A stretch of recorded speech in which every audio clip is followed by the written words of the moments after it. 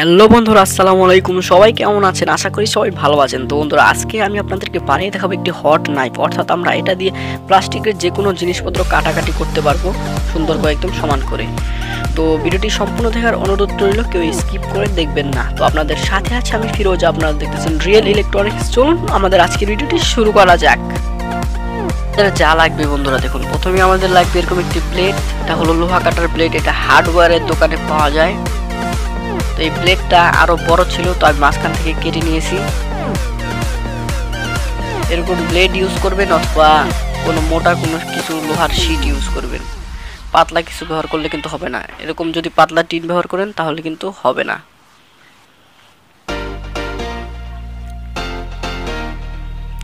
তো এই মেশিনটি আমি একটা ভিডিওতে বানিয়ে দেখেছিলাম, সেটা আরও সুন্দর করে বানিয়ে দেখেছিলাম। তো স্ক্রিনে যে ফটোটি দেখতে পারতেছেন, এরকম ছিল মেশিনটা তো মেশিনটা কীভাবে বানিয়েছি ভিডিওর লিঙ্ক ডিসক্রিপশন বক্সে দেওয়া রইল। সেখান থেকে ভিডিওটা দেখে নেবেন। তো এখন এটাকে এখান থেকে কেটে নিচ্ছি।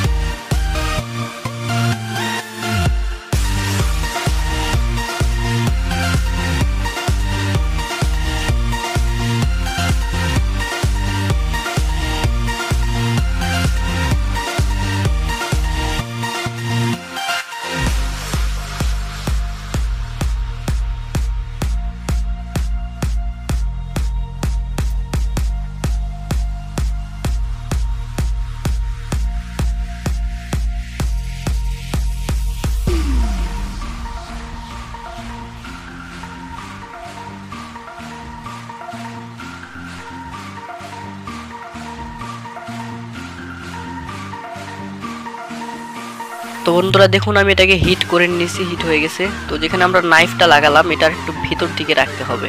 এতখানি বাইরে লাগলে এটা ভালো করে হিট হতে পারে না, তো আর একটু ভিতর দিকে দিবেন। তো এটাকে কেটে দেখাচ্ছি প্লাস্টিকের, আপনারা যে কোনো জিনিসপত্র কাটতে পারবেন।